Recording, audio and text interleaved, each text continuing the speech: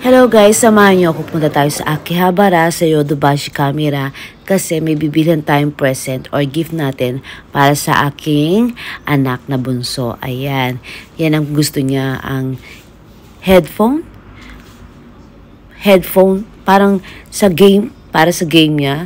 Kasi yung headphone na gusto niya, ay yung pwede na sa Nintendo niya, sa PlayStation niya, sa cellphone niya, lahat pwede na siya. So, meron siyang brand na gusto. So, titignan natin kung ano yung gusto niyang brand. Pero bago yan, eto tignan niyo itong ano na to. Oh. Game set na to. Ayan. masyadong masyadong ano high level high level to the max. Hyper to the max. 'di ba ano? Parang nasa outer space 'di ba? Napapanood ko lang sa TV to eh yung mga ganyan no? Ganyan na ngayon. Nako magkano nga ba yan? Makita ko yung price niyan. Ayun ayun ayun ayun ayun ayun ayun. Ni Hako ni Jumang ang price niyan. So ano 220 kalapad.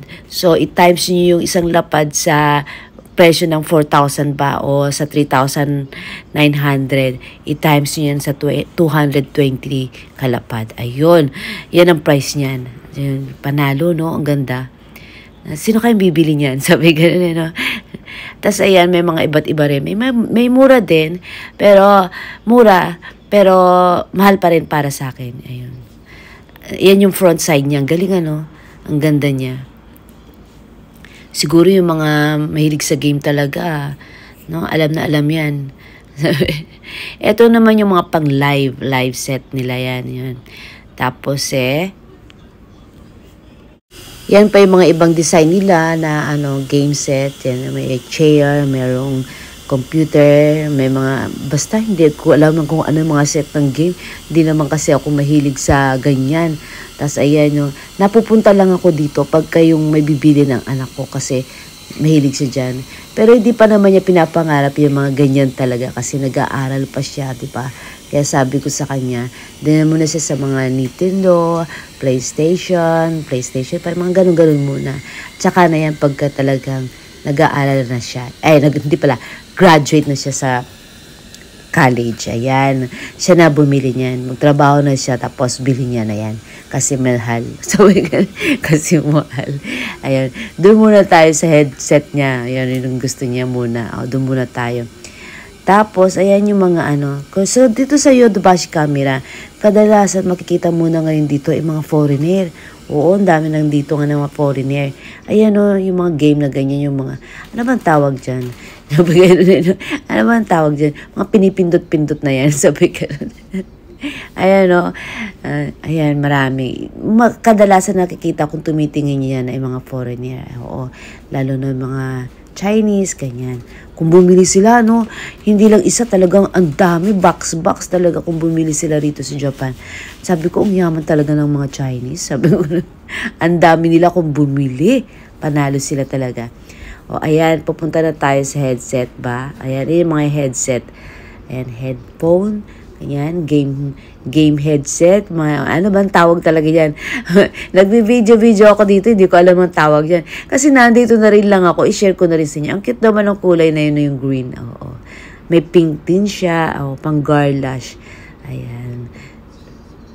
So, pasensya na doon sa mga magtatanong. Sa totoo lang, wala akong alam dyan sa mga ganyan. Hindi ko alam mga tawag niyan. So, nandito na rin lang ako. I-share ko na rin sa inyo. Ayan, Street Fighter. Uh, kasi hindi ako marunong mag-game, maglaro. Ang anak ko talaga. Kaya naman ako nandito. So, ang dami ngayong bagong mga game set. Ayan, yung mga game nila ngayon sa PS4, PS5, yeah, sa Nintendo. Marami silang bago ngayon kasi ngayon is ano, bilihan time ba? May mga bonus. Eh. Alam mo naman, ang Japanese businessman, di ba? Alam nila kung kailan mabibenta ang mga products nila.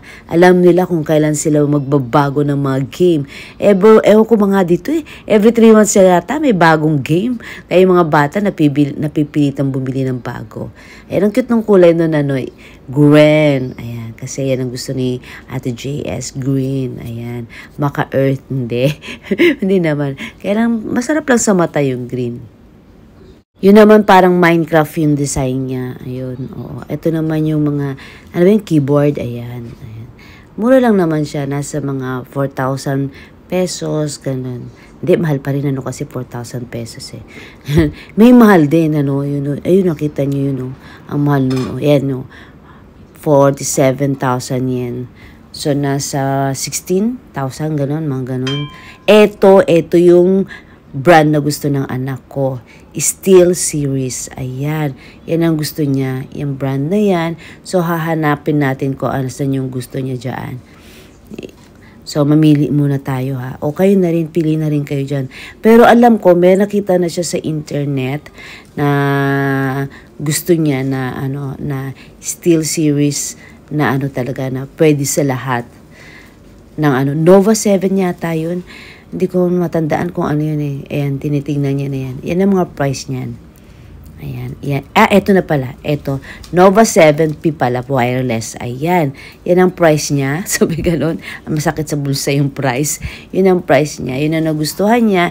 So, yun ang bibili natin. So, hati naman kami ng father niya dyan kasi bilang pa-Christmas na namin sa kanya at saka talagang nagsisikap naman siya mag-aral. Hindi lang siya puro game. Nakikita naman namin talaga nagsisikap siya na mag-aral so deserving siya na makatanggap ng magandang present. Ayan. So habang nagdadalawang isip pa siya, ayan, libot-libot muna tayo. Ito may Pico 4. Ano yan, ano yung bago ngayon, yung nauuso ngayon, yung inilalagay sa ano sa mata. Tapos eh, parang, yung parang salamin, tapos parang nandun ka sa game. Ano ba yun?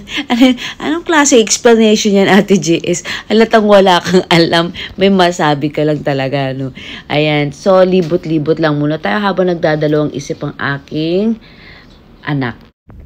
So, ulitin ko, kaya natin bibilin yung gift niya kahit mahal kasi nakikita naman namin nagsisikap talaga siya mag-aral.